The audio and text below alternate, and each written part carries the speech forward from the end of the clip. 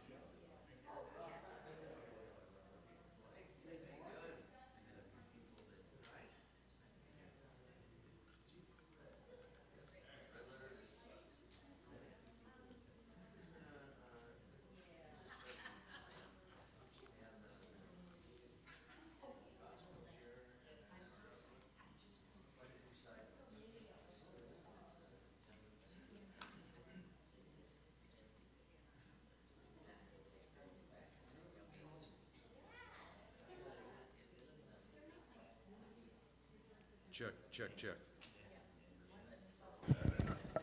Check, check.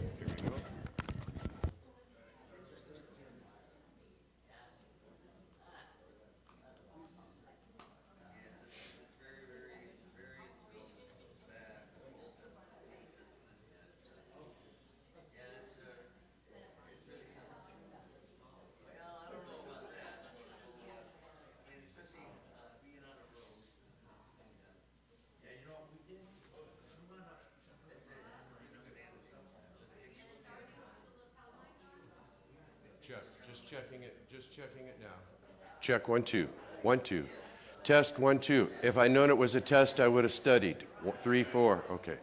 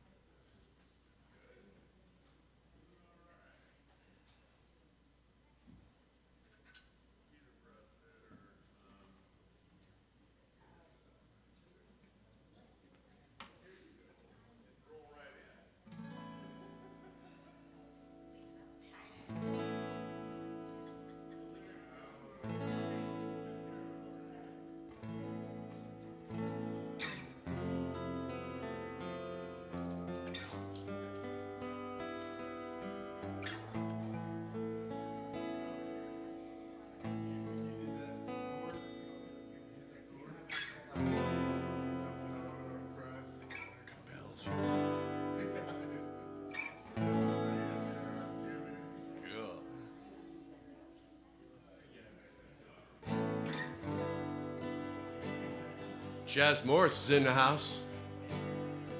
Sue's in the house. Carol Hannon's in the house. Gary and Linda in the house. Carolyn's in the house. Patrick and Deb's in the house. Marsh is in the house. Steve's in the house.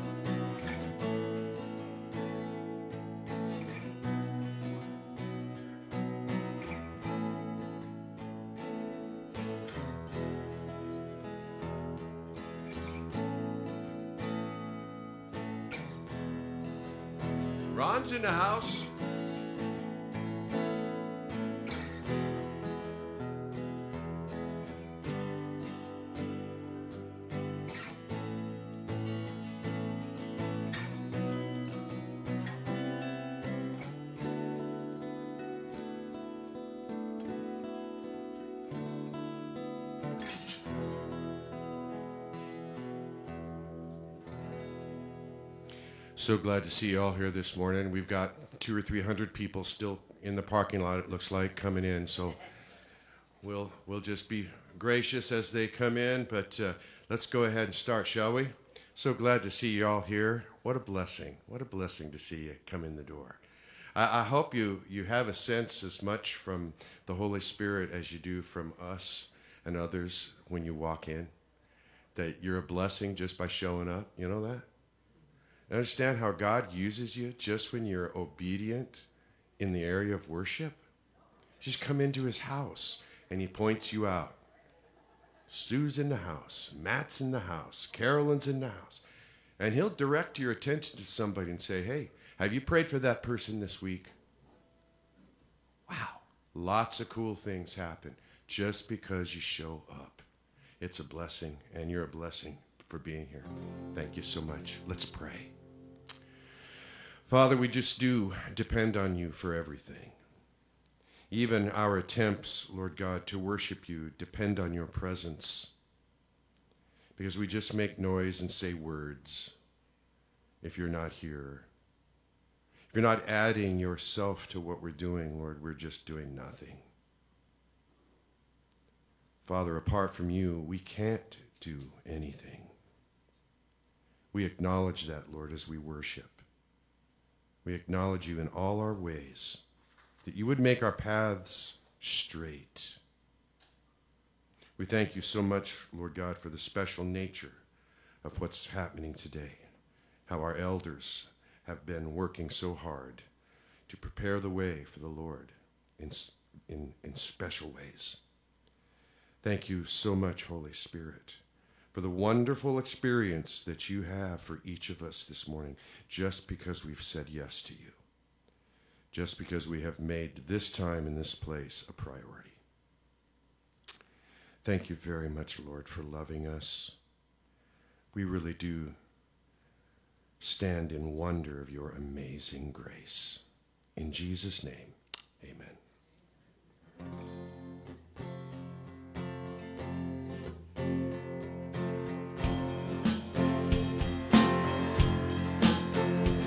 Amazing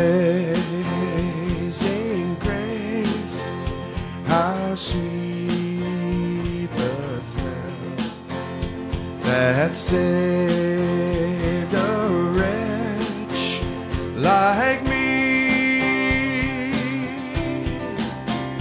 I once was lost, but now am found. Say thank you, Lord. Was blind, but now I see. Yeah, look around and see was grace that taught my heart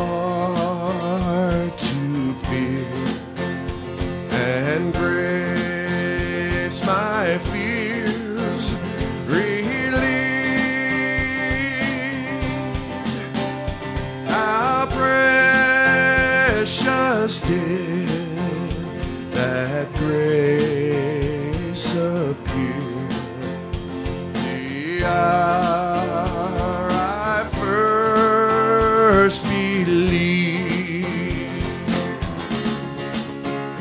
Through many dangers, toils, and snares,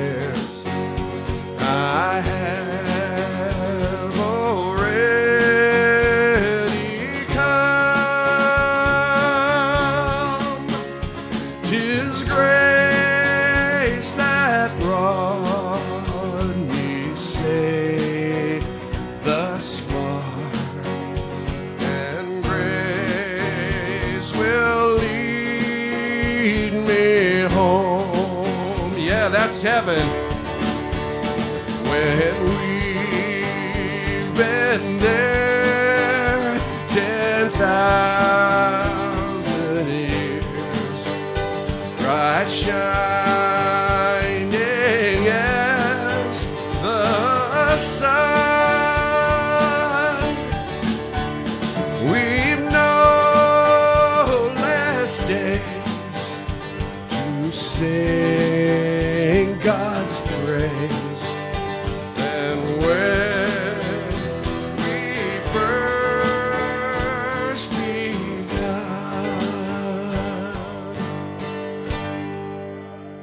It true? Amazing grace. We're just barely scratching the surface. Put yourself in eternity now as we worship, okay?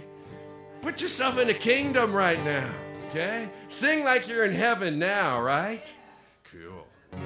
So, in the process that leads up to that, there's this glorious experience of coming to know God. You get introduced to Him by various means and ways, and, and you're going to hear some cool things from the elders today. Uh, I'm trying to speed us through this a little bit, and and because we know that whoever the, the, the guy that they have preaching this morning is just so long-winded. They're trying to. Oh, could be, could be. I wouldn't talk about that. talk about anybody else that way.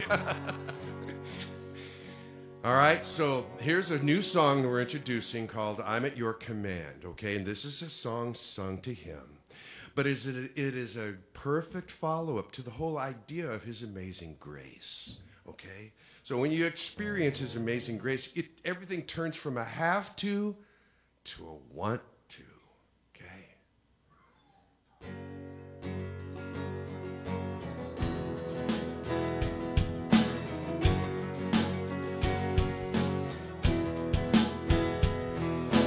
want to know you, Lord. I want to make you known. I bow before your throne, Lord Jesus. I'm at your I'm at your command.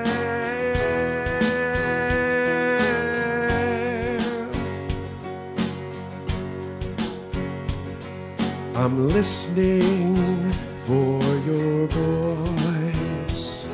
I'm trying to obey. I'm calling out your name, Lord Jesus. I'm at your command. I'm at your command.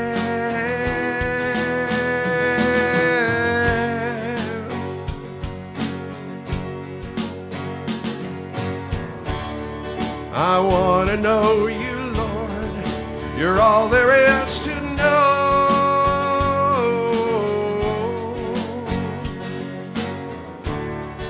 I want to make you known and how you blessed me so.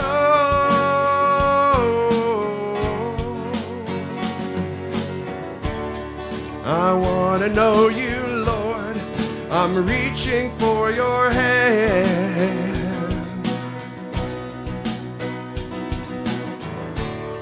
I put my faith in you, oh Lord. I'm at your command.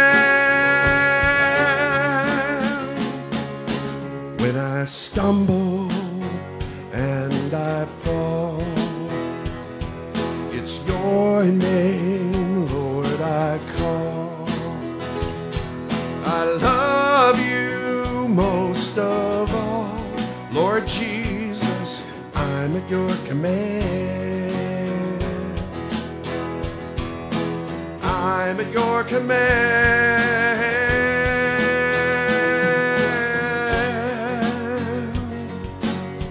I want to know you, Lord. I want to know you, Lord. You're all there is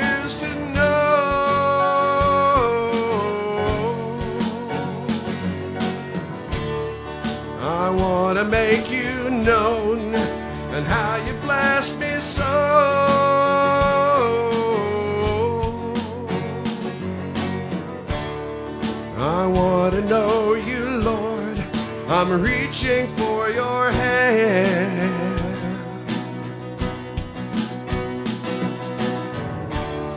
I put my faith in you, oh Lord. I'm at your command. I want to know you, Lord. I want to know you, Lord. You're all there is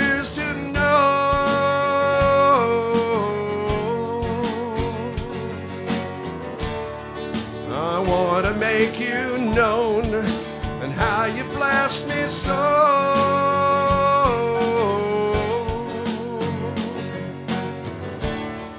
I want to know you, Lord. I'm reaching for your hand.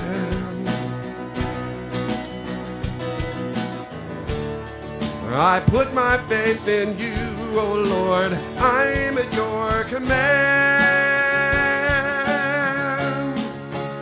I'm at your command.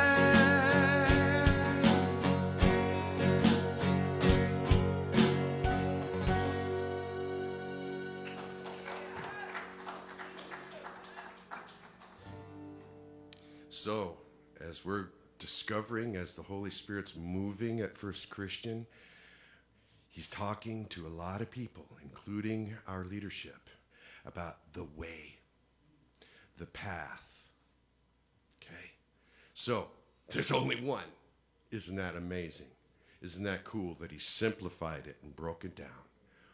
Only one way, right? Let's celebrate that.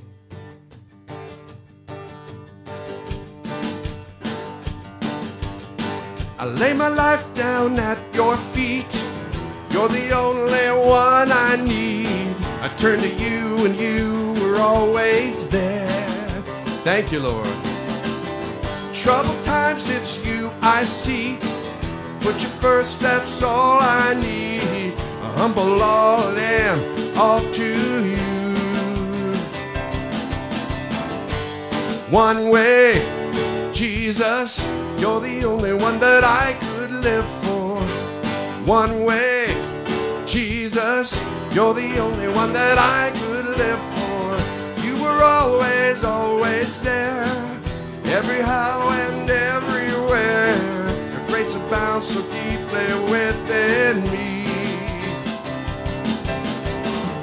You will never ever change. Yesterday, today the same.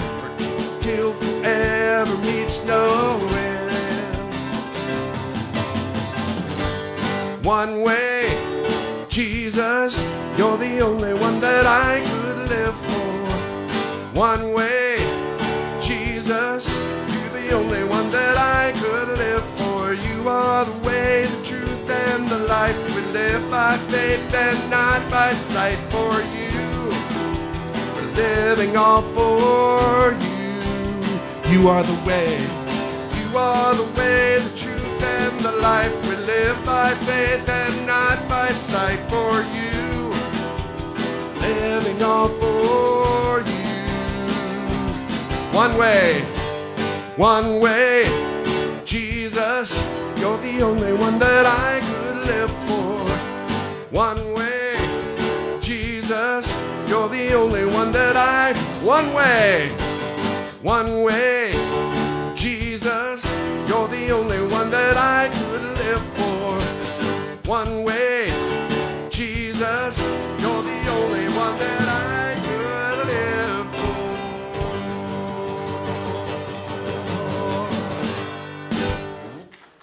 Amen.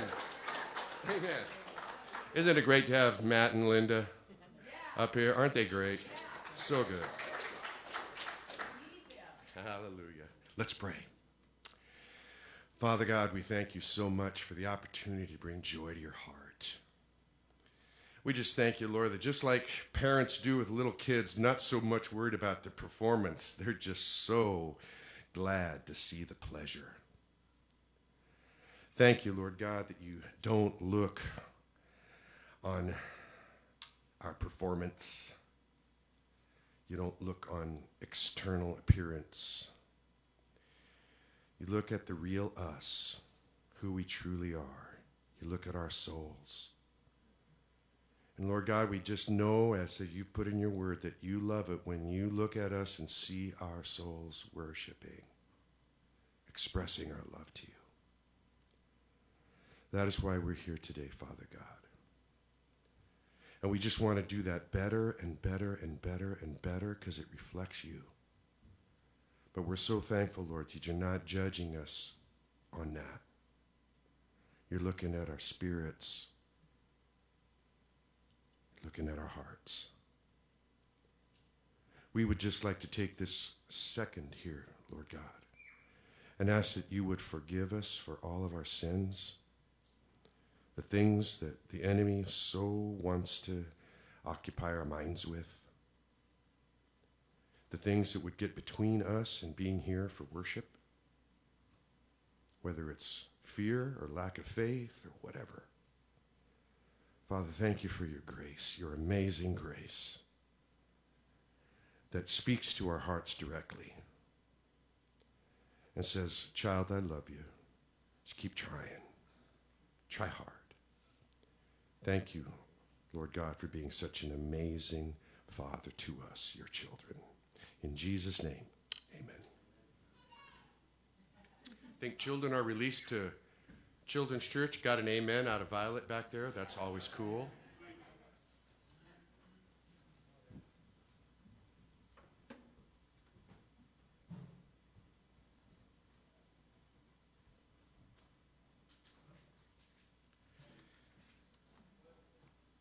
Uh, some of you may not have known that I would be preaching this morning.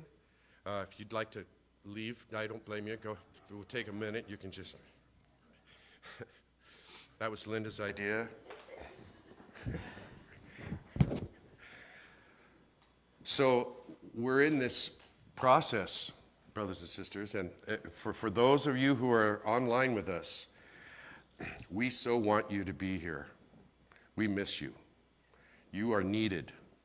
There's a special dynamic that expands and increases every time a new person comes into the house of God because God will use you just by being here. We wish we could see all the faces of those who are online. We wish because it, it, would add to that. We would have this sense of, oh, there's somebody that I need to pray for, whatever. So when we're out of touch and we're not visual with each other, it's really harder for us to remember to pray, to present one another to Christ. I just trust that if you're online and watching on Zoom, that you'll just sense that desire and that eagerness that we have here to see God's house full, to see his people standing out in faith. And as part of the spiritual pathway development that the leadership at First Christian Church is developing, um, I've been invited and I'm totally honored to bring the message this morning. And it's a continuation of what we did the last time I preached. We're talking about the four keys to a wonderful life with God. You may notice that there's a folding table, excuse me, on the platform. We'll be making use of that as in a visual uh, toward the end of the message. And uh, Elder Barry and Elder John are going to come up uh, at the conclusion of the message uh, to speak some very important things to all of us. So, this whole idea of uh, four keys to a wonderful life with God is directly connected to the purpose of the church survey. Uh, that the leadership has developed and put out. I think everybody's uh, filled one out, perhaps. Uh, if you haven't, you still can. We totally invite that. Uh, these surveys have been filled out by people more than once, and that's right and good. Uh, and the way that the Lord is speaking and leading our leadership with regard to what you are con- communicating and conveying on the survey is really awesome. I met with uh, Barry and John Friday night uh, before the movie and the meal, which was terrific. Um, and I got to tell you, I'm excited. I'm excited at what's going on in the two of them. And, not, and Robert, Robert Davis, and, and Wendy, and others who are helping, Jamie, and others who are involved at, at that level. Uh, very excited at what's going on with John and Barry as well. And, I, and I'm sure they'll share some of that.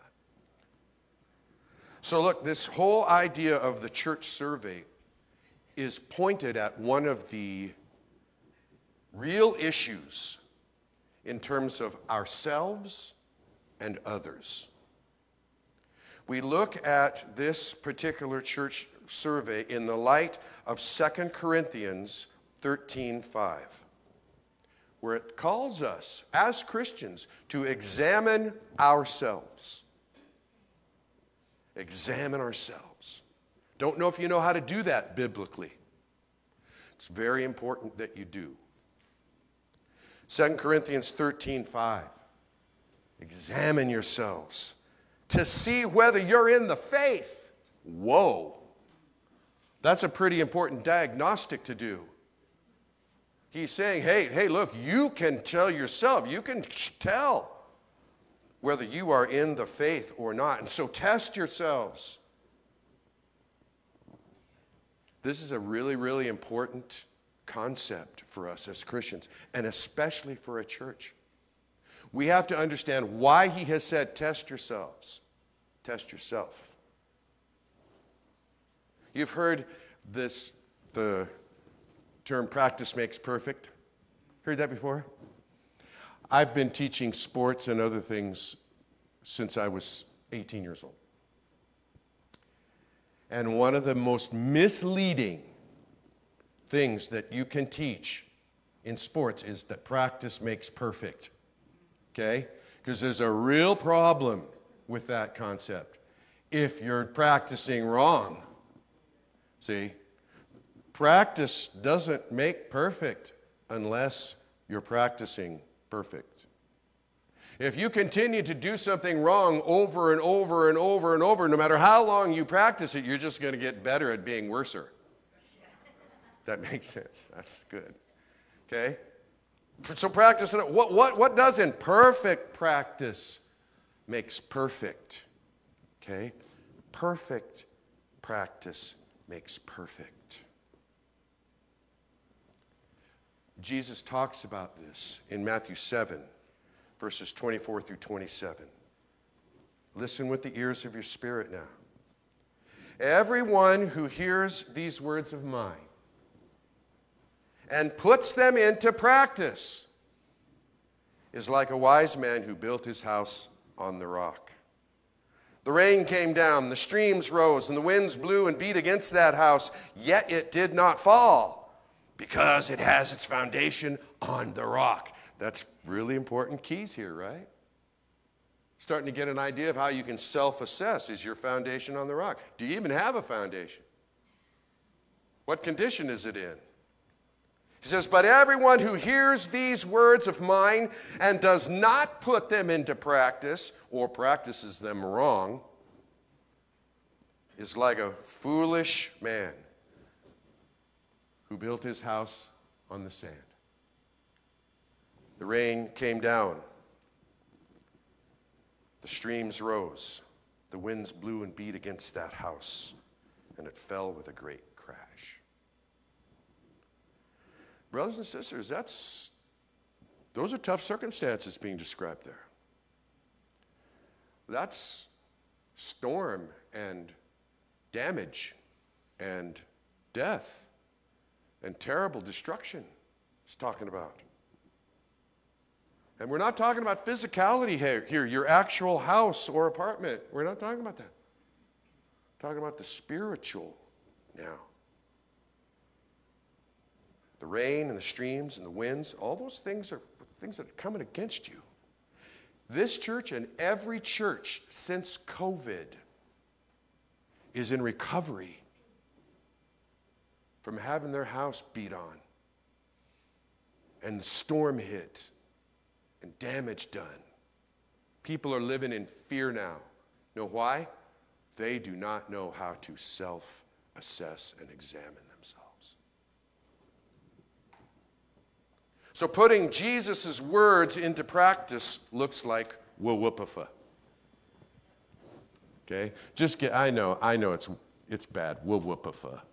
I, my brain has limits. I couldn't go anyplace but just wawupafa, whatever. But it's worship, the word, prayer, and fellowship. These four keys are the foundation that Christ speaks of when he says his foundation was on the rock. See, we're not talking about worship, the word, prayer, and fellowship being the rock. This is what you build on the rock. This is how you self assess. And so we understand then that Wawupafa will do you no spiritual good if you're not practicing Wawupafa as God defines them, as God defines them.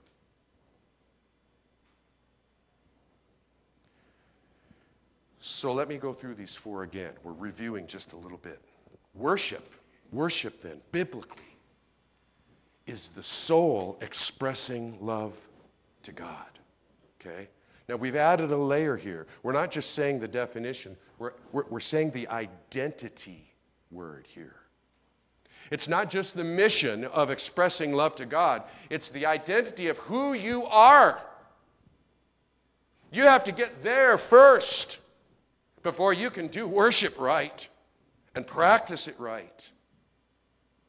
This is the soul expressing love.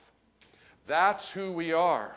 We are spirit beings in a flesh body. We are souls. And it is when the soul worships that we are in rightness with regard to practice. Jesus said, The greatest commandment is this love the Lord your God with all your heart, with all your soul, with all your mind. Whew, is that all?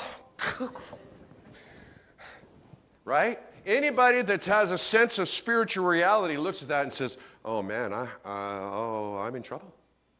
The greatest commandment, I, I'm not doing it. Take it easy now. The Word does a lot to help us with that, right? You see, uh oh, I'm not doing, I don't think I'm, what do I do now?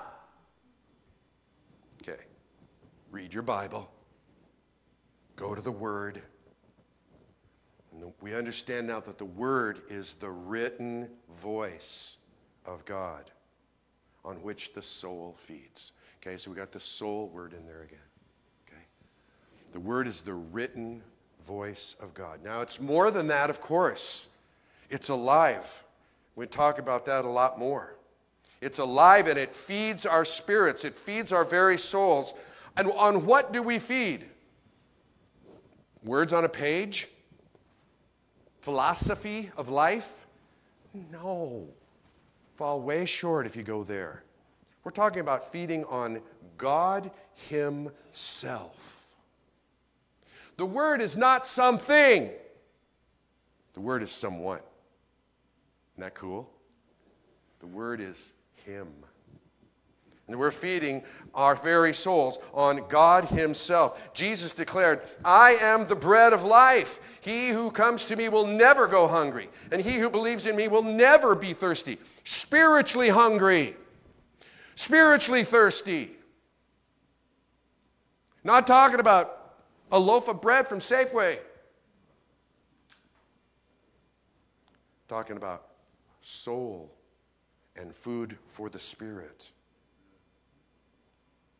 We move on to prayer. We're, we're, moving through this, and the elders will have more to say, and we'll have more to say as we go through this process. But we are adding layers now for every person in this church to embrace and understand.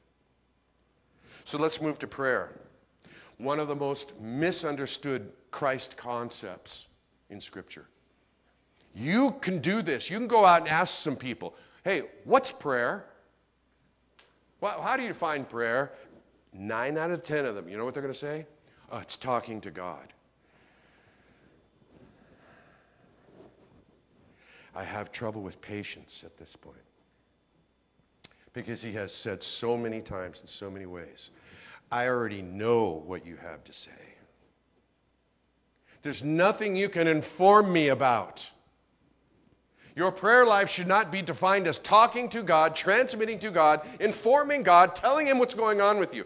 He knows you're wasting His time. And you're missing the whole point of prayer from the heart of God. See, prayer is the soul listening to God. And this does include inquiring. Okay? Did I miss one? Oh, good. You know, listening, I just want to tell you, it's okay to inquire. Include the, the listening, it can include the asking. I, you know, I've seen so many cool examples of this with parents and kids. The parent already knows the condition of Robbie's tennis shoes.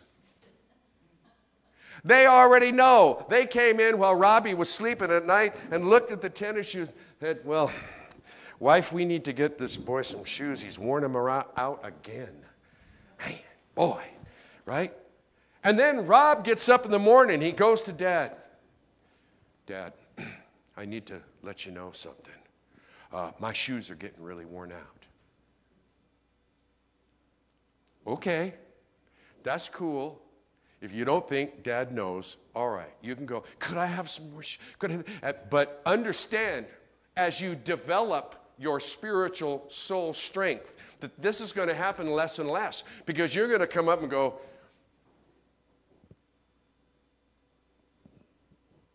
I wonder what dad's got for me today. Could I have some new tennis shoes?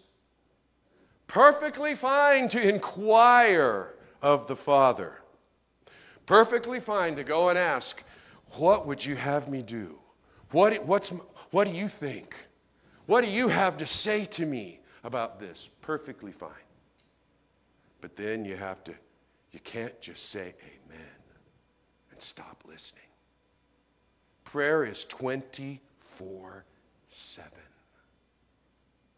It's always listening, it's always keeping your spiritual ears, the ears of your soul, perked and listening.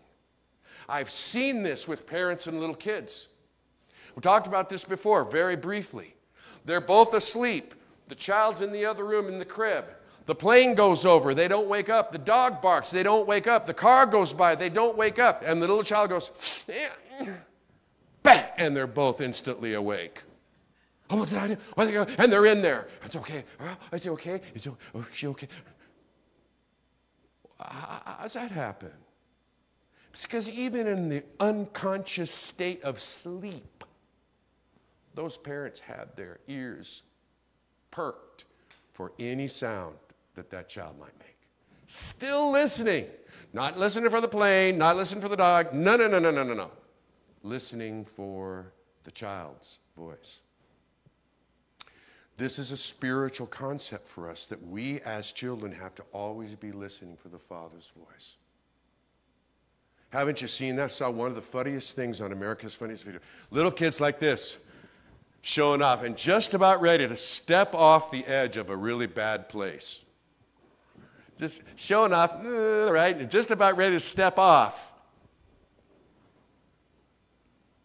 And this happens. Hey! All that took was one word from the dad. Here's the kid. And the dad goes, Hey! Now, if that child's not listening, ow. I've seen it so many times. Children that listen do way better than children that don't. He says, My sheep listen to my voice. We move to fellowship. Fellowship is souls united in Christ. This is a huge word for any church. United.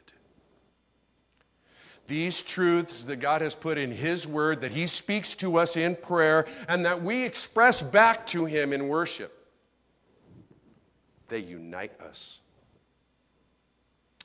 We are in agreement upon these essentials for life in Christ. God's word says in 1 John 1 3, we proclaim to you what we have seen and heard, so that you also may have fellowship with us. Now, now look, they've seen and heard, okay? Eyes open, ears perked, 24 7. God is always speaking, always showing. Are you always listening, always looking? Proclaim you what we have seen and heard, so that you also may have fellowship with us. Fellowship. And our fellowship is with the Father and with His Son, Jesus Christ. Woo! So we're not talking about fellowship being something that happens between brothers and sisters. Oh, that happens. But that can only happen if you're in fellowship with the Father. The invitation is to come and be in fellowship with the Father with us, not to be in fellowship with us. Fellowship can't happen correctly. You're practicing it wrong. If you don't fellowship as a result of your fellowship with the Father, these are the truths that unite us upon which we can all agree and stand together. Fellowship is mindful of the meaning of the word, and it's not about fellows when they say fellows on the same ship. It's about being fellow workers, you know, and that's not a gender thing, that's just an all inclusive. We're all in this together. We are all on the same spiritual ship, brothers and sisters. And guess what? We're all going to the same destination. We're not going to say, well, I'm going to heaven, man, kingdom of God. Where are you going? Oh, I'm doing the karma thing. What are you doing on this ship? This ship doesn't go to Karma. This is not the Karma Cruise Line. Karma Cruise Line, that's, that's not my notes. Anyway. It- It's amazing how many people do not understand how God defines his own terms in his own book. We want to rewrite it and put what we think it should be, what works for us. This spiritual pathway that the elders and staff are working on for this church is completely against that. Hallelujah. This is about walking a path with God that results in all these wonderful things. And so, practice then, this whole idea of practicing Jesus' words clearly implies the need for improvement. If you've got it all going on, what do you need to practice for? How many of you asked that of our drummer on the worship team, Matthew Watson? You say, dude, you're already good. Why? He's over practicing and he's teaching lessons and he's playing for the uh, Academy of Music. What's the name again? Say it again. Brent? Academy of Music. And it's in Concord? It's in Lafayette. It's doing all this stuff. Just don't need to practice anymore. Don't need to practice anymore. Why are you practicing? Oh, I'm over the practicing, practicing. Why? You're already good. A, to stay good. B, get better. To get better. Anybody here, by a show of hands, don't any of you raise your hands? Anybody here cannot get any better spiritually? Notice I said don't raise your hand. don't want to trick you. There's nobody in the world that cannot get any better spiritually, that cannot improve their relationship with Christ. There's nobody. How you go about that and what those areas are is what examining yourself is all about. See, we're not interested in this. God's word does not put this out for us. Yeah, we'll be judged. Go judge each other. Nah. See, this spiritual improvement, this form of spiritual improvement is entirely possible and it's absolutely biblical. Now, you don't want to be measured as you're, as you're self assessing, you don't want to be measured by your spiritual performance with regard to salvation, right? Spiritually wise Christians don't want anything to do with God's justice from a salvation standpoint, right? Because why? we know we're guilty. Yike. What would my grade be? Flunk. Total fail. My righteous deeds are as filthy rags. There's nothing passable about them. Spiritual, spiritually wise Christians understand it and say, oh man, justice just condemns and convicts me. I'm guilty. No, no argument. I got no defense. So I don't want that. What I want and need is where I go from understanding that I'm guilty. See, justice is getting what you deserve. See, and you think about what you really deserve with regard to God, I don't even want to think about it. Yike. But, but, then there's mercy. Now you're talking my language. Now, now you know what I need and what I desire. Mercy, please, because I already know I'm guilty. Mercy, then, as far as God is concerned, is not getting what you deserve. Thank you, Jesus. Thank you that He does not treat me as my sins deserve. And grace, then, that amazing grace we sung about this morning, grace is getting what you do not deserve. Great analogy of this. Uh, you're speeding down the road and a little too fast, get pulled over by a police officer. He pulls up the car. Can I see your stuff? Give me your ID. Yeah, yeah, here, whatever. He goes, You know, Rob, you're doing 210. Oh, I thought it was the freeway sign. I'm not buying it. Uh, but I've done a little background check on you while I was writing up the ticket, and I understand some things about you. And you're like, You do? You did? Really? Yeah, I'm not going to write you up. Really? Wow, thank you, because you know you deserve to be. And he says, and look, my, my research tells me that, you know, you, you're in some hard times. So I just felt like the Lord prompted me as a police officer, here's $20. What? 20, yeah. Now you're getting what you don't deserve.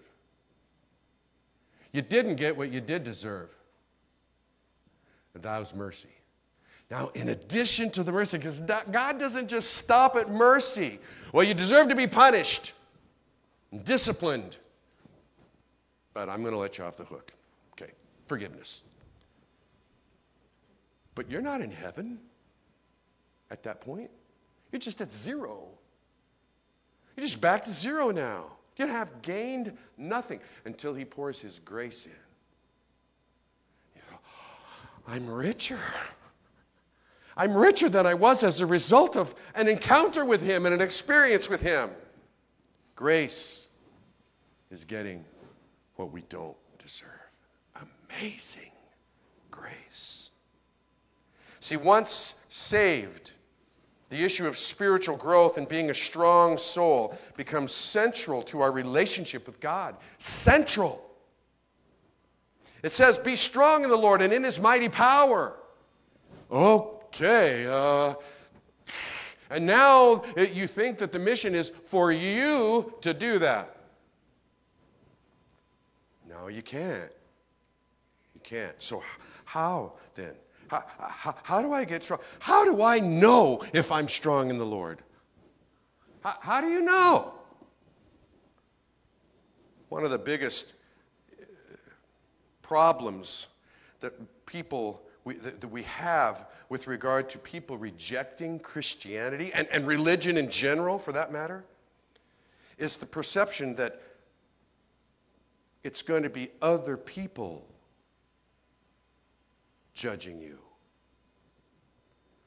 It's going to be some other person telling you whether you are strong in the Lord or not and how and what you need to do. That is instant put off instant defense mechanism, instant rejection. Because correctly, they instinctively sense that we're not qualified to judge them. We're not. We're barely able to judge ourselves. We can only do that according to God's word. Again, it says, examine yourself. See, people are afraid and, and reject the idea that they're going to be judged by other people. Heard this before? Don't judge me. Don't judge me. See, it's so right away you got to understand oh, no, no, no, no. Our church is not about that. The scriptures are not about that, me judging you and you judging me. You, you can judge yourself. But you got to understand that that's God's test by God's word and it's pressure and it's fear and it's all kinds of weirdness in the child's heart and mind that resists this relational reality with God. It's His test. It's His, we're, we're His creation. Everything is His. He's in charge. It's His test, it's His criteria, it's His judgment that matters. And so uh, right away you're like, oh man, oh man, God's going to judge me. Oh my goodness. It says to examine yourselves. Examine yourselves to see whether you're in the faith. Test yourselves. Do you know how to do this? Do you know how to test yourself? According to God's word? This is the key component for the spiritual pathway that the leadership at First Christian Church is developing. It's exciting. It completely addresses one of the biggest reasons for why people do not want to have anything to do with the church. Because they think it's just a place where you come in and get judged. by other people who aren't qualified to judge you. It's like, wow, okay. And when it comes down to that, then you ask, oh, so, well, oh boy, the test. Here's the test. Oh boy. If you give yourself the kind of score that I tend to give myself, it's not pretty picture. It's scary. It's humbling. And it begs this kind of response. Okay, what's going to happen if I don't pass the test? What happens if I like? Is God still going to love me? What's at stake here? So be real careful now. Be real careful to stay in that place where we know we have to be in order for these things to work correctly, for practice to be perfect. We have to stay in that place of grace. It is by grace you have been saved. Say hallelujah. hallelujah. Thanks. Sorry I had to drag that out. It is by grace you have been saved through faith. And this, not even your faith is from yourself, it's the gift of God. Not by works, so that no one can boast. Will God still love you if you flunk? Yeah. How do we know? Because He's forgiven Rob. I mean, He's forgiven King David. He's forgiven Moses. These guys messed up big time. I, I don't want to. I don't want to compare too much, but with regard to David, David's one of my main guys in the Bible. I love him. Dude's a murderer. I haven't ever had anybody killed. Show of hands, anybody had anybody killed? right? Oh boy.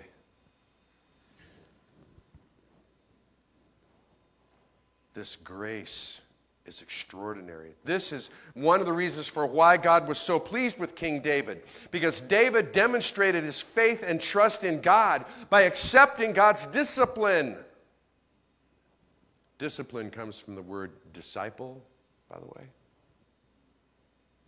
He embraced the word of the Holy Spirit. As embarrassing or as challenging as it may have seemed at the time to David, and he said, Test me Test me, O Lord, and try me. Examine my heart and my mind, for your love is ever before me. That gracious, amazing love is ever before me. And I walk continually in your truth. He says further, Search me, O God, and know my heart. Test me and know my anxious thoughts. See if there is any offensive way in me, and lead me in the way everlasting. See, that is not somebody else judging you, that's you listening to God and Him as your loving Father informing you and explaining to you what's going on here. Worship, the Word, prayer, and fellowship those four keys to a wonderful life with God provide a healthy way for each person to spiritually examine themselves, not each other, ourselves.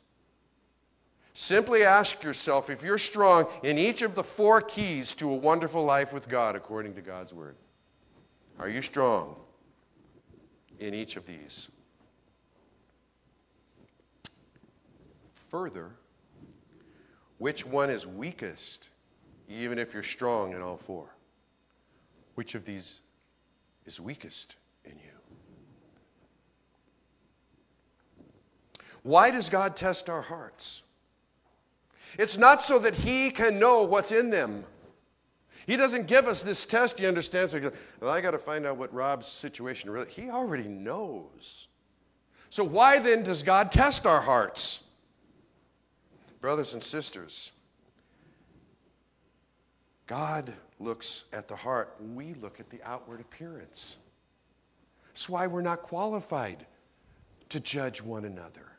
We cannot look upon the soul as only God can. Further, God does not judge by external appearance. Galatians 2 6. Huge passages of Scripture for us to absorb and process. See, so why then? Why does He test us? God tests our hearts so we can know what's in our hearts.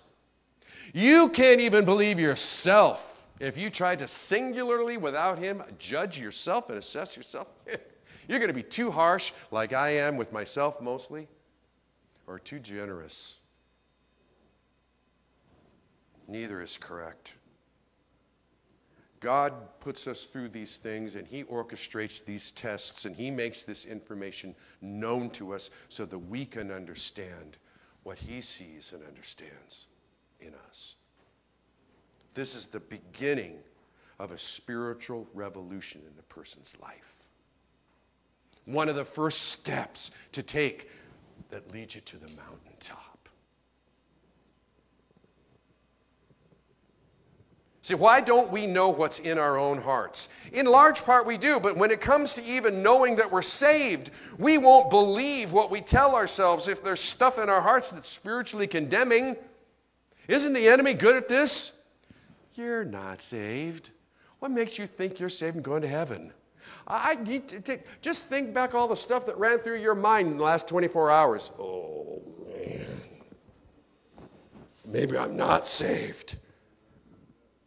Well, why are you going there?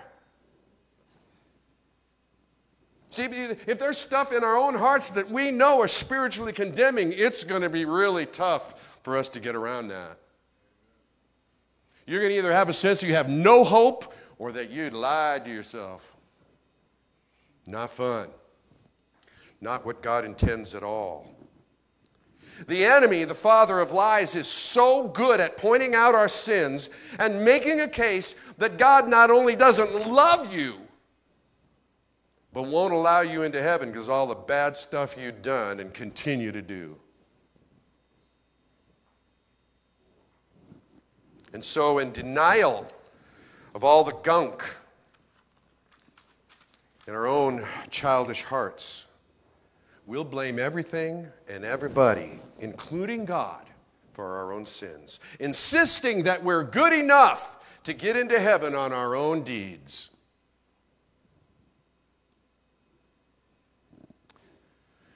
We've been through this whole COVID thing. I'm sick to death of it.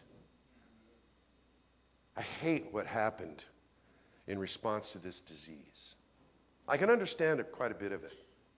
But the spiritual lesson in it is amazing. How can anybody say they're good enough to get into heaven on their own when they're con- contaminated with the virus of sin? Uh, uh, uh, yes, I have spiritual COVID, but I'm still a good person. It doesn't matter. You're infected, you're contaminated. And so, how then can we come to believe and accept all this that He does love us and, and, and, and we are forgiven? And we, we, yes, I'm going to heaven and I know it. I don't just cross my fingers and hope it. How do we come in, to believe and accept all this? That we are truly God's children. Brothers and sisters, there's only one way you can know, and that's when He tells you. Oh, you can hope all you want. And you can self talk all you want. But you, deep down, will know that you don't know. It's when God conveys these things to us that we know. The same way we come to believe and accept that God loves us and has forgiven us and has adopted us into his own eternal family, he tells us himself we have a personal experience with God. Not an intellectual experience with information, not an emotional experience from need. An actual Holy Spirit to human spirit experience, orchestrated and empowered by Him. That's why Romans 8:16 is such an amazing teaching verse. This is a great one to memorize. The Spirit Himself testifies to who? Our spirits that we are God's children. Now, if you can't believe somebody else and you can't believe ourse- yourself, you can believe Him. That's His responsibility to do the speaking, to testify, yes, son, I love you. Yes, daughter. Look in my eyes, daughter. I love you. Do you believe me now? Yes, Father. Yes, Lord. It's the only way that it works. It's the only way that practice becomes perfect. This is one of Linda's favorite verses. How great is the love the Father has lavished on us that we should be called children of God. It's like you can, you can see John going, Oh, dudes and dudettes. Think about it. God's calling us his children? Us? Wow. That's amazing grace. Getting what we don't deserve. Wow. Makes me love him a lot. I don't know about you. Makes me love him a lot. It's an amazing experience with God when we hear these things from him. It's only then that we can believe and accept it. And even then, it's still sometimes a struggle. And so we, we read in the word 1 Thessalonians 2 4. We are not trying to please men in this, we are trying to please God who tests our hearts so that we can know. Wawupatha are the four spiritual corners of our lives built on the rock of Christ Jesus, who is the appearance of God on earth as a flesh and blood man, as prophesied. As we move forward on the spiritual path that our church leadership is developing and preparing, each of us should be keeping them before the Lord in our prayers. Okay? Just to help you on that. Like just kind of, just in your own mind, in your own heart, just say, Lord, help me remember to bring Elder Barry and Elder John before you for the next month.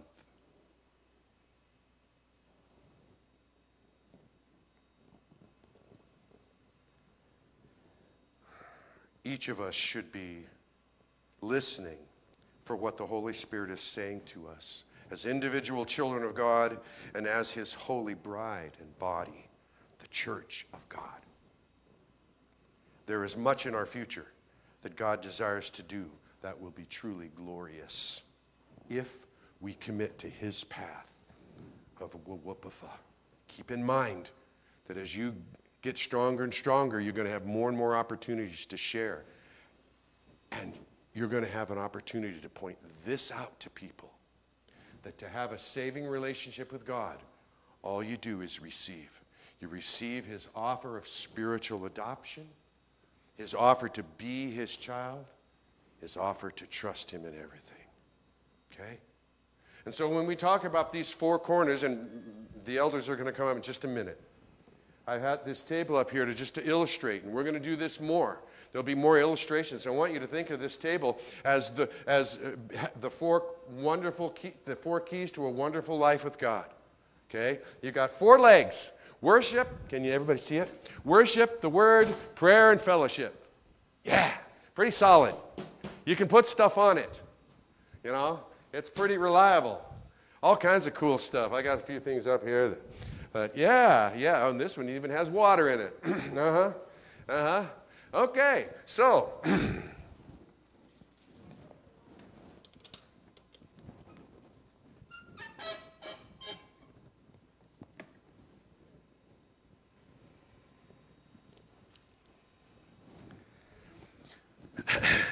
Getting a little nervous? You should be. Oh man, if I spill this, they're going to be some. Right? And what are you ask, asking God to put on the table of your life? Is it something big? asking him to do something big. What y'all think going to happen when I put this up here on the table with three legs? It's not going to be a pretty picture. I don't even going to do it. Okay? Because it's not going to it's not going to. All that's about to happen is problems. You're asking God to put stuff on the table of your life, and He's saying, You're not prepared. Why are you asking me to put stuff on the table of your life and you got three, maybe only two?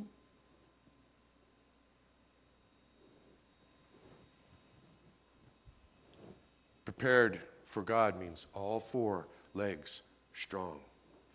You got four legs on the chair that you're sitting on. What do you think would be happening to you right now if I went over and took one of those legs away?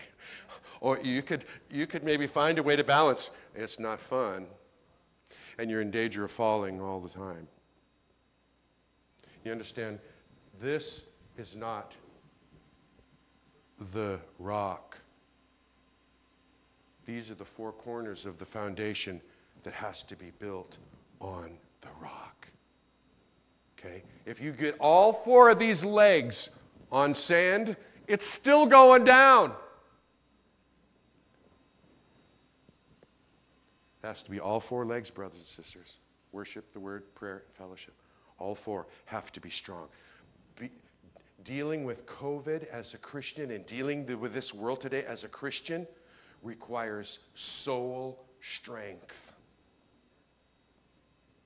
If you want to have incredible experiences with God, if you want people who come into this church to have incredible experiences with God, and you want to be able to say, look, you need to come to my church, man, uh, because you're just going to have a great experience with God, then this has to be happening in the people of this church. And you show him that you're committed to this process. Just wait and see what he puts up on the table. Yeah. Let's pray. Father in heaven, thank you so much for the glory of your word, the experience of hearing your voice, the joy of putting joy in your heart, and the encouragement of fellows on the same ship. We love you, Lord God. We thank you for the ways in which you've been sharing with our elders, and as they come to speak now, Father, thank you for keeping hearts open, minds alert. In Jesus' name, amen.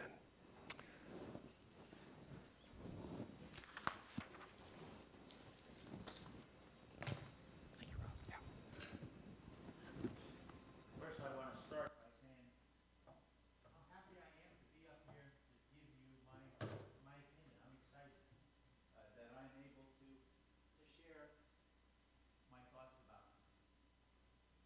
Will Whoop I'm still working on that. Worship prayer. And I, and I love the, the demonstration, um, and I'm going to come back to that. Um, I'm going to start by giving you a little context for our survey that we took. And I said it was like uh, doing uh, when you go to the doctors and you get uh, first thing they check your weight, right? They check your blood pressure, and a couple of things just so they have a record. And that's how we are using that now. And uh, we will do it again and again. And we will see, we'll be able to self analyze. So recently, about two, three weeks ago now, we were studying in 1 Peter 3, 8, and 9. Um, Darren brought us that message. Finally, all of you should be of one mind. Sympathize with each other, love each other as brothers and sisters, be tender hearted, and keep a humble attitude. Don't repay evil for evil. Don't retaliate with insults when people insult you. Instead, pay them back with a blessing. That is what God has called you to do, and He will grant you His blessings. Uh, now, that moved me, and I, I pulled it out and I put a little divider there. And when we had our Sermon 2.0 class, I was really into that. Um, and then I got this opportunity to come up and speak, and I was thinking about how, how can I give you a context for how I feel about it? And I went back and looked at that same Bible verse. Now, when I read it the first time, I was really happy. I was excited that uh, I, what I got out of it was that I have to be a blessing to receive a blessing. You know, maybe at some point I had a Bible and that was the heading, and I, and I just got that idea. And I was, I thought, you know, God's really talking to me, and I've got it. But then I went back and I used this worship, word, prayer, and fellowship as a model for how can I look at God's word and maybe get a better understanding about it. So in, in the, I'm going to break it down real quickly for you. Finally, all of you should be of one mind, sympathize with each other. Well, that's unity. That's one of the items that we had on our survey. And that worship leg, and then Barry and I went through all of your responses, and we took a little tally, and then we said, okay, now which word fits in which leg? So we came up with that unity comes under the leg of worship and the word. Going on in 1 Peter, love each other as brothers and sisters. Well, that's unity. That's the worship leg and the word. It's also outreach. That's the fellowship leg and the prayer leg. We have to pray for those that we want to help. Uh, we have to really reach out and get to them. And encouragement. Uh, that's under the worship leg and the fellowship leg. Back to the, back to 1 Peter. Be tenderhearted and keep a humble attitude. Well, that's leadership. You have to be tenderhearted. You have to learn to keep a stiff upper lip. And if you're not humble, somebody will let you know pretty quick. Don't repay evil for evil, but don't and don't retaliate with insults when people insult you. Instead, pay them back with a blessing. Well, that comes under perseverance. Hopefully, you remember these words. Uh, that's the word of uh, the word leg and the prayer leg. Outreach, fellowship, and prayer leg. Encouragement, worship leg, and fellowship leg. First Peter, that is what God has called you to do. Well, that's spiritual growth. Remember, we asked you, how did you feel about your spiritual growth? That comes under worship leg and the word leg. Serving God, another question we had. Worship leg and the fellowship leg. And He will grant you this blessing. That's God's gifts. Do you know your God's gifts? That's under the word leg and the prayer leg. And I love Rob's uh, demonstration. I'm going to drag it over.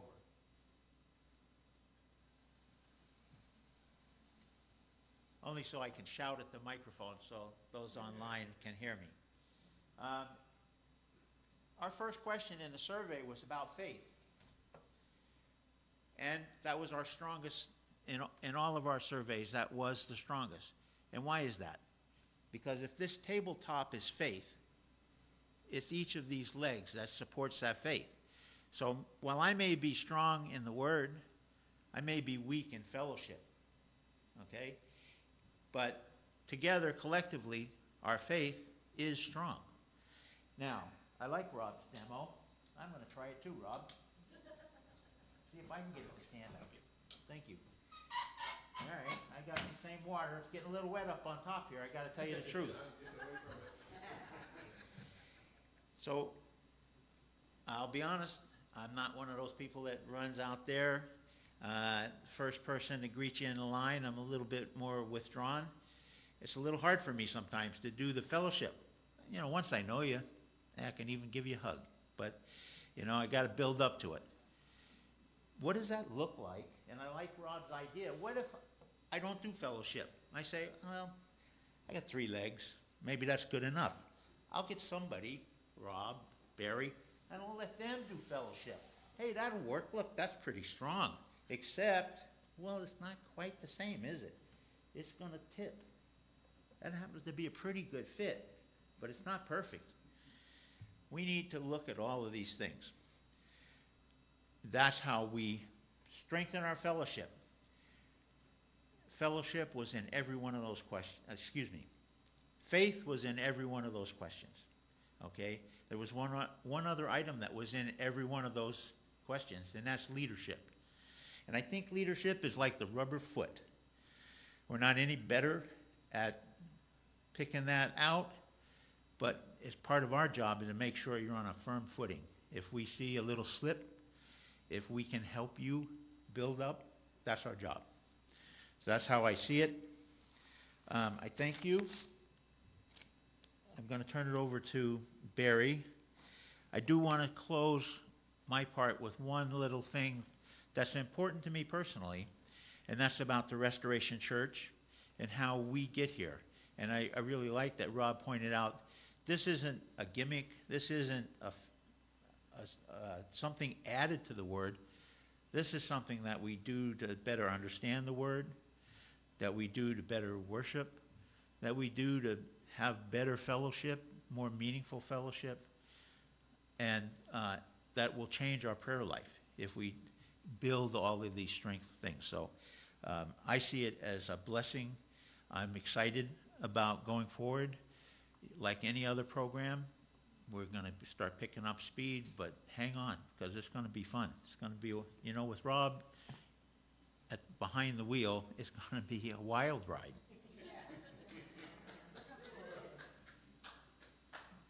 Thank Barry. All right. Well, thank you, Rob and John.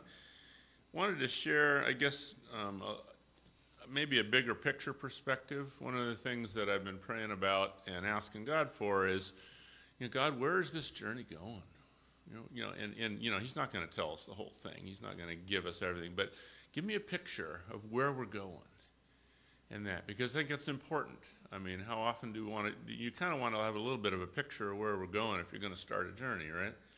And that, and so I've been praying that, and God, you know, um, gave me a number of, of insights um, in that. I'm only going to share a couple of them today, and that.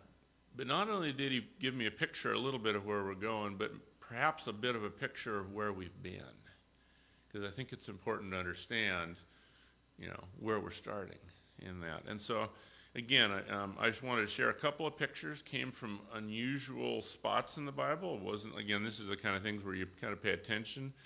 You know, when God speaks to me um, through verses in Ezekiel, and if you read Ezekiel, you'll realize it's mostly you know Ezekiel telling the people you're doomed, you're going, you know, you're getting judged, you're going into captivity. There's a lot of negative stuff in that, and so when and God gave me a verse there, and another verse out of Hosea. How many read Hosea recently? Recently, not too many. But Kathy, I got a faithful reader. So I want to share just a couple of pictures about perhaps where we've been and where we're going. So let me share a little bit in that. So it would start in Ezekiel. And right in the middle of Ezekiel, Ezekiel chapter 34, um, Ezekiel has this prophecy really to the leaders of Israel. And that, and so his, his picture is, all right, leaders of Israel, you have failed as shepherds of the people. But he says, you know, God says, I will be your shepherd now. I'm going to take over. I wanted just to read a couple of verses here about God being our shepherd and what that means. And it, and it relates to our picture here, a pathway in that. And so I'll start in, in verse 11 and, and listen to the language about where we've been and where God is taking us in that. So um, Ezekiel 34, 11 and 12, he says, For thus says the Lord God, Behold, I myself will search for my sheep and will seek them out.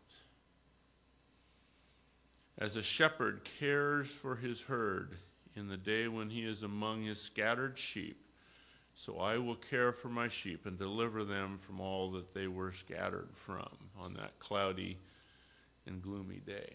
And so it's a picture, a little bit of where we've come from. He's here, he's describing a picture of being scattered. You ever feel that? A little bit of COVID, a little bit of stuff, all the churches. We've been scattered, we've been isolated, right? And God is saying, I am going to gather you. I'm going to draw you back from that. So, a bit of a picture. I've been scattered, I'm going to bring you back together. A couple verses further down, he says, in verse 15, I will feed my flock and lead them to rest, declares the Lord. I will seek the lost, bring back the scattered, to bind up the broken and to strengthen the sick. And so, what we see, what God was sharing with me in these verses, was a picture of where we've been and where we're going. We've been scattered and isolated. God wants us to bring us together so we can be protected and united again. And that, I mean, He's taking, you know, people from two different churches and, and uniting them together. And that, if you think about, you know, you know, sheep, they're not real good at defending themselves, right? That wasn't their thing. God didn't design them that way. They need a shepherd to protect them in that. And so when you're scattered, you're vulnerable. And so one of the pictures is God is going to unite and protect us. The second one is many of us feel like we've been broken in some ways or another in that. And God said, I am going to bind you up and heal you and bring you to a place of strength. And lastly, many of, you know, he talked about, I am going to, to um, strengthen and heal those that are sick, those that are spirit. This is a spiritual picture. Those that perhaps are spiritually sick. God is bringing us to a point of being spiritually healthy. And that. And I don't know if, um, and if you think about this, it not only applies at a church level, you know, as, as our church goes, but it also applies at a personal level, right? Each of us has our own things where we feel isolated and, and we feel injured and, and, and we feel sick spiritually, and God wants to bring us to that place of strength and health. So that's one of the pictures that I got um, in that. Now, also in that in that same picture was a message for us as leaders, because God was warning there the the leaders of Israel, you have failed to be the shepherd of your sheep. And it wasn't directly that message to us as leaders, but it was, it was an encouragement. You need to be the shepherd in this flock to help lead and, and, and guide and protect. And so it was also an encouragement for us as leaders that we be more active in that, because in times we have not done that to the best of our abilities. And that, so it's another opportunity for us as leaders to grow into. So the second passage, um, again, another you know, odd place. I don't read in Hosea too often. Um, but this one, and, and you know, God brings these in different ways. This one, I was um, just looking over my Facebook page, and actually, one of our own um, congregants um, who, who's normally at home because of her health reasons, Irene, had posted this on her Facebook page.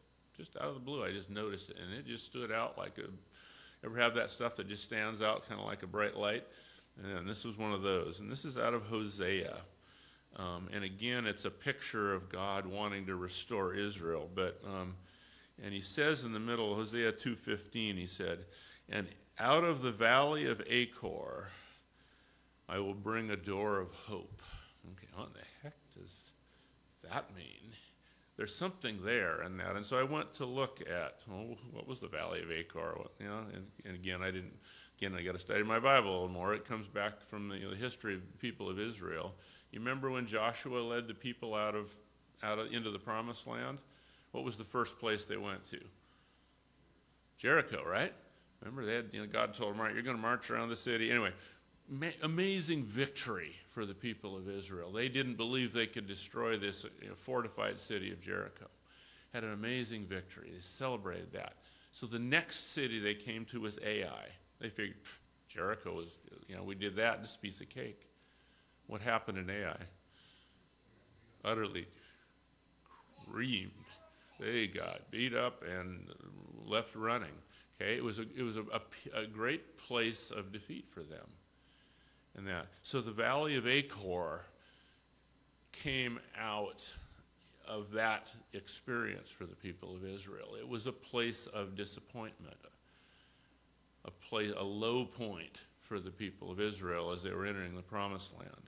And so what is God saying here? I am going to take that very place in your church, that very place in your life that is a low point, that perhaps is a, is a, is a sense of disappointment, discouragement, and I'm going to turn it into what? A door of hope. And that, and so that's the picture the second picture that God gave me of, of several, is that God wants to take us from the point we're at, the places we're at, and transform that into a, into a place of strength, a place of being spiritually healthy, a place of being united and protected in that. And so this process becomes a door of hope for us. And, he, and he's going to take those very things that, that we've been through that are hard and turn them into something of hope. And I can guarantee all of us have got those things in our lives. As a church, we have those things. And God is going to use this. Those things aren't wasted. Those difficult times are not wasted. God wants to turn them into hope and that. So, do you believe that? Can God do that? So that's the pathway. I just wanted to give you kind of a high high level picture um, of what God's been kind of been given to me in that, and I think it's an exciting journey. It's not going to happen overnight. This is a process and a journey, um, but God has an amazing place for us to go, and, and He understands where we're coming from, and He wants to make that turn that into something something glorious. So. So I'm going to pray for real quick, and then we're going to have Robert come up and share in communion, one of the highlights of our service. So let me pray for us. Heavenly Father, thank you for this pathway you've began us on, Father. It's a journey that we begin those steps. We know there's many more steps to come. Guide us. Thank you for drawing all of these people together into one flock, into one place. Lord, help us to become united, protected, strengthened, and healthy. Lord, that is where you're leading us. So guide us in this in this journey. It is you who leads us. Thank you for your hope and, and your promise. In Jesus' name. Amen.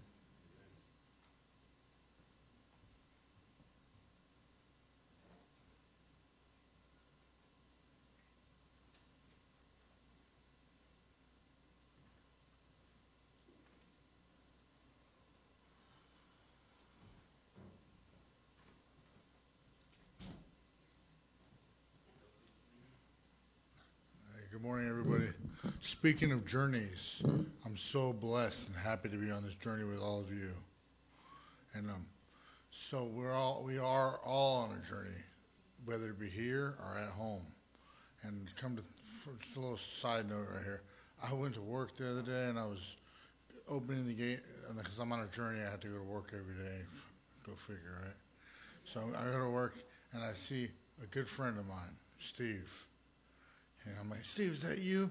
And he opened the gate for me. It was pretty cool. I was like, whoa, man, made for made for a, good day that God put me, put Steve and I on the same pathway. I thought that was cool. So, has anybody ever seen a movie? Any all movies that have a beginning, and the beginning usually sets up the movie. Is that true? Or I think it's pretty true. And so, so in the beginning of our service, how many songs do we sing? We sing three songs. What do you think those songs do? They set up our service, don't they? And that's part of worship. That's one of the four things he talks about. And so I, I, the worship, the different songs you sing, the words, they resonate in, in your mind. They take you to, to a different place. It can be a real, real good experience. Myself, I, I love music, and so in the in the beginning, excuse me, I'm sorry about this. In the beginning the creation, and um, let me find the verse, the exact verse. It's in Job 38, verse 7, I believe. And so when God created the earth, the morning stars sang together, and the sons of man shouted for joy. So they sang in the beginning. So you know singing is, is powerful. And when we're on the journey, um,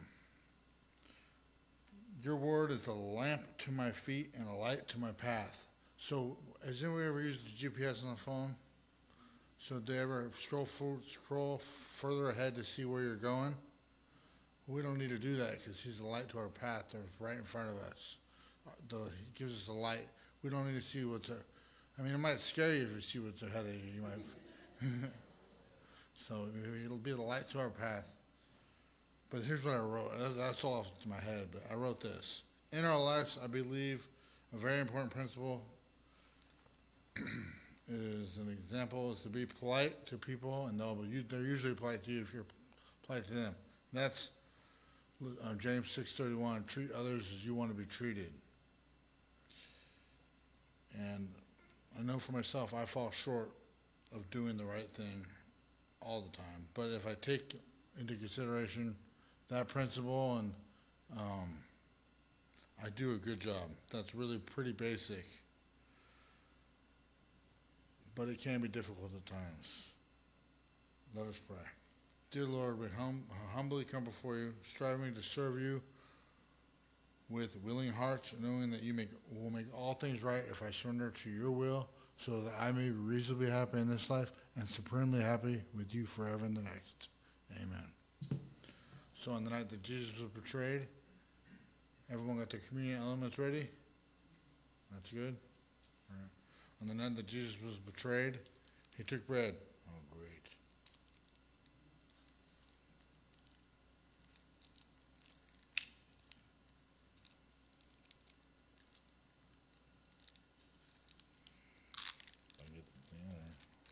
I don't think he had this much problem. He took bread and broke it and said, "To eat this. And in the same way, he took the cup of his, this is a new covenant in my blood. Take, drink all this. Do this remembrance to me. For as often as you do this, you proclaim the Lord in his death, and he's coming again. Amen. Want to invite Barry up here? Big, big, big bad Barry. All right, this will be quick, so just a few announcements and things that we wanted to bring in. Um, let's see, a few prayer items. Um, um, obviously, we have a few folks that are still struggling health-wise. Um, anybody, how's Helen doing? I haven't heard. Is she doing better, or is? is-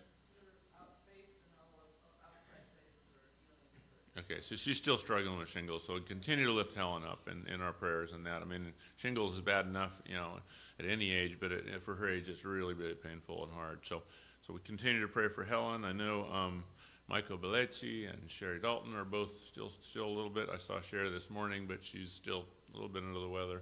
Continue to pray for them. Um, and that there, there are probably others that need that prayer. Um, I know we've got, got holidays coming, so um, we got travels. I know I don't know how many people will be traveling, but I know um, John and Susan Leary will head head out Tuesday on a, on a cruise, and they're going to be traveling. So prayer for their safety and their enjoyment. Um, anybody else got big travel plans? They're going somewhere. So anyway, but yeah, pray for our folks that are out traveling, and that continued again as we've shared to pray for our spiritual journey where we're headed you know, praying for our leaders, pray for our interim pastors, um, Pastor Rob and Pastor Darren, and pray for the pastor that God's going to bring here in, long term as a senior minister. He's got plans. And, and, and like Robert said, he doesn't show us the whole journey. He doesn't show us all the way down. He's just going to show us a little bit. Um, in that. Let's see, for classes, um, there's um, no classes today. Um, we're going to be doing a, a leadership meeting, a board meeting, um, right after service here in the office. And so we don't have any classes today. And we're also not going it's Thanksgiving week. We're not going to do our Sermon 2.0 this week. So we're going to enjoy Thanksgiving. So you got to go home and be thankful and then make, make that plan. And that, and then uh, we haven't given specific dates, but coming up in January, um, Rob is going to begin a series of classes on Whoopava. I think we'll just do one at a time, though, right? So, in that, so that's going to be a really cool series you don't want to miss, and that's, that'll be coming up in January. In that, um, first couple of Sundays in December, which it's scary. I'm thinking, I, December already? Do I? Yeah, it's like not that far away, right? In that, we've got a couple of, of um, on December 4th, we're going to do another congregational meeting real quick and just kind of share some, some things. We've also got elections coming up for our leaders. We've got a budget we're needing to approve. So we're going to have a congregational meeting on the 4th, right after service. And then the next week we'll do, we'll actually do our voting and, and vote on the, on the leaders and the, and, and the budget. And that'll be on the 11th. So they won't take too long. Those should be fairly quick, but um, that'll be like right after service.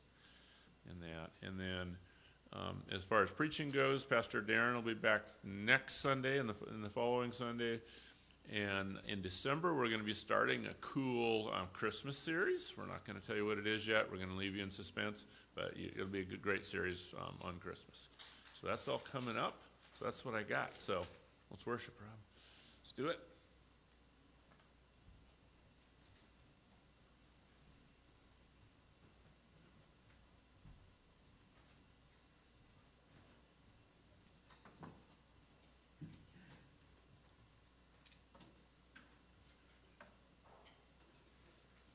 John Susan going on a cruise. Huh? Better not be a karma cruise like we talked.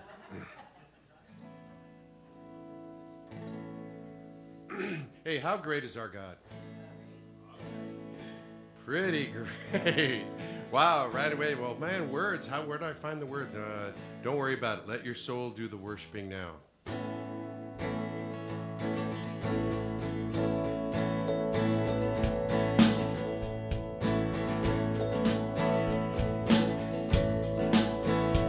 The splendor of the King, clothed in majesty. Let all the earth rejoice, let all the earth rejoice. He wraps himself in light, and darkness tries to hide, and trembles at his voice, trembles at his voice. How great!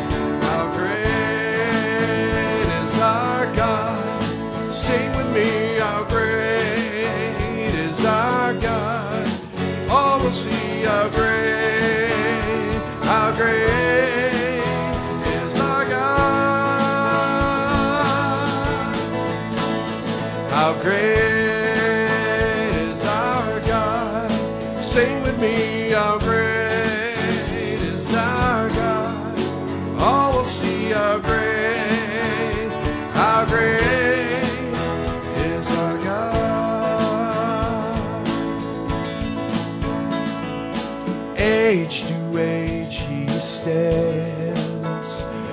time is in his hands, beginning and the end, beginning and the end. The Godhead three in one. Father, Spirit, Son, the Lion and the Lamb, the Lion and the Lamb. How great, how great is our. Sing with me, how great is our God. All will see how great, how great is our God.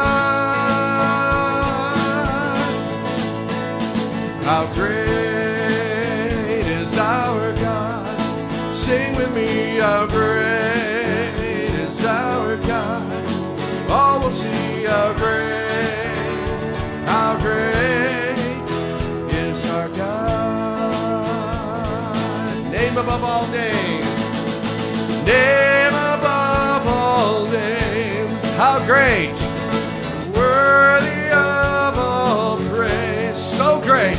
My heart will sing, how great